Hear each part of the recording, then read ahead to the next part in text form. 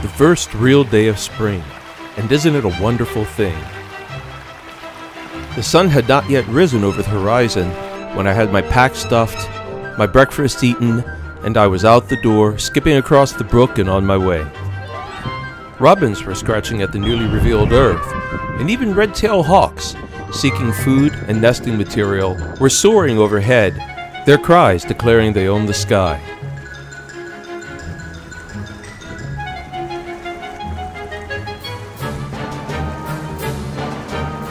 Today is the first day.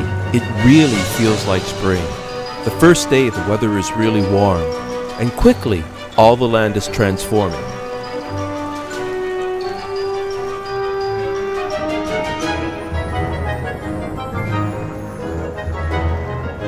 And for my part, I had no better plan than to get as deep as I could into the forest and figure out what animals were up and about and what possible fungi were putting in an appearance.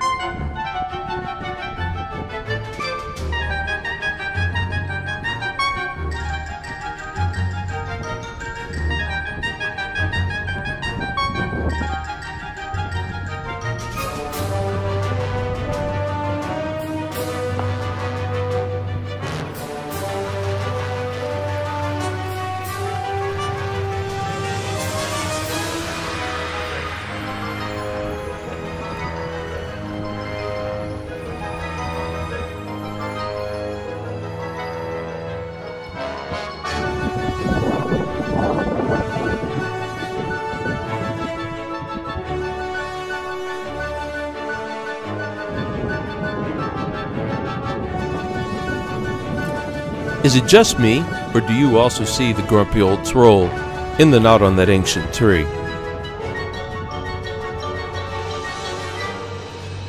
It was a long, hard hike to get to the woods so early, and by the time I reached its brink, I thought I had earned a rest. So I settled in, had some water, a few granola bars, and took a nap.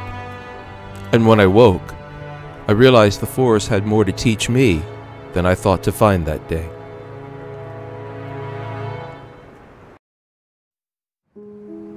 There is a story in every forest that begins with the first warm breath of spring. It abounds in the spring breeze, vigorous and eager, and you can find it in lichens sending forth their spores, and it seems even to spring from stone sprouting crystal.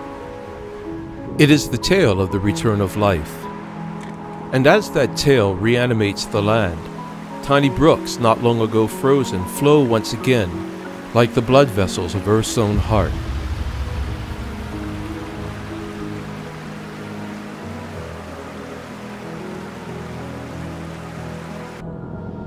Like the cilia of vast lungs, the trees respire for Earth, inhaling carbon, giving forth life-giving oxygen. That life-giving breath touches earth and sky and rejuvenates all things. Yet even before spring at last and for sure overwhelmed winter, life was striving to overcome the time of cold, shown here in these horsehoof fungi, which have managed to grow despite the winter by taking advantage of the odd warm day that snuck in through winter's gray.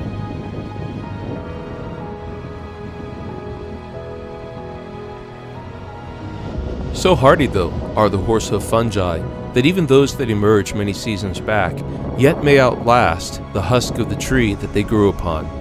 Beside them in a neighboring hardwood, a cavity in a tree sits dark, but promising the respite of a pileated woodpecker or whatever other creature can manage to seize it. In a healthy woodland, old and new fungi are everywhere to be found, as soon as the blanket of snow is pulled back.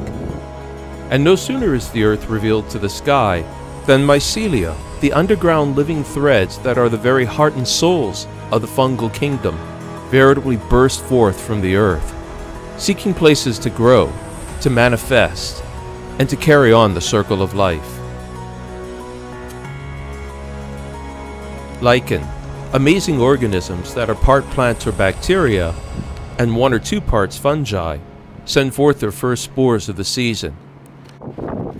Even in the ancient stumps of long fallen trees, we see in the cubical forms of disintegrating wood spring's reanimation of life. This cubical decay is caused by fungal action, such as the mycelia of Pleurotus ostreatus, the oyster mushroom devouring the old wood, sequestering the carbon, and returning the nutrients to the soil. As a cloud rolls over the high valley, bearing a shock of cool moisture, and I take shelter in what might seem a dreary moment, I'm reminded that, in a healthy woodland, everything has a niche, everything has a place, and everything supports the next. As if to reward me for my revelation, when the cloud passes and I emerge from the hollow stump where I had been taking shelter, I find there was at my feet a number of small holes in the earth beneath this hardwood. The old tree where I sheltered is a beech, and at its base these tiny holes could possibly represent the cache of a squirrel, or they might likewise represent the tiny indentations where that squirrel was digging up truffles. But the spring forest was generous, and she had not yet given all her gifts. Sometimes I find the kindness of a forest could bring a man to tears, because if one but looks, everywhere, Everywhere, there is generosity, as if a healthy woodland wants to nurture us as a mother. For just as I left the place where I suspect that a squirrel may have been digging up truffles, I found a log covered with the healing fungus, Trametes versicolor, the turkey tail.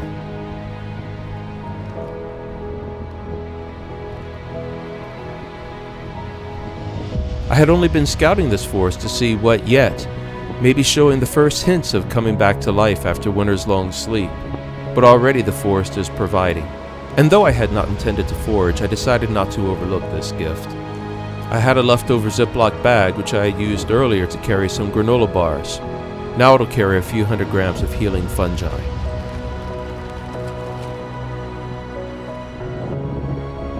Much ado is made of the healing fungus Inonotus obliquus, more commonly known as chaga and I would not debate Chaga's virtues. But Trametes versicolor is just as powerful, if not more so, and happily, it is much more common, much easier to find, and much less burden upon the forest ecology to harvest it. As I gathered in the perfect stillness that is the ever-moving forest, I thought I might also gather a gift for you, my viewer, and so I caught for you a moment of this perfect silence that is never truly without a sound, for I know that this kind of silence has become a rare thing in this present world.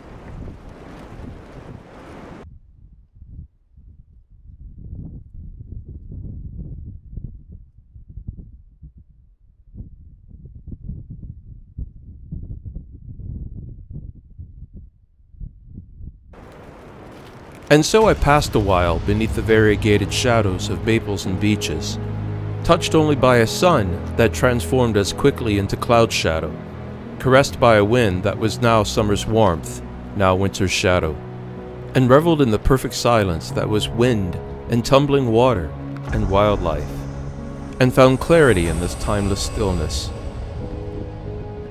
Moments after the task was done, another shadow rolled over the lip of the valley, and this time it looked thick and felt cool enough that it might bring rain. But it was trickster weather, coyote weather, and only moments later the sun reappeared. The forest, even the sky itself, seemed to be in a playful mood, and I had a feeling, a feeling that something special might happen. So I drew my camera, and I sat in the shadow of a stump, and I waited. And then the magic happened. They seemed to materialize out of the perfect stillness. The horned ones, mother and fawn, dancing between sunlight and shadow.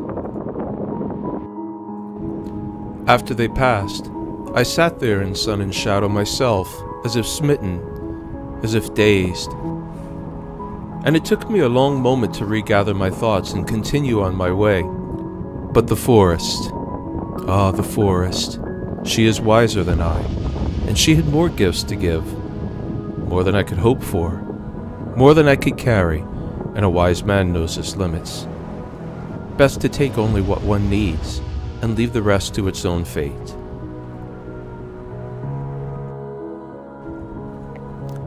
And with heart and mind, camera and backpack full, it was time to make my way from the forest as the day waned.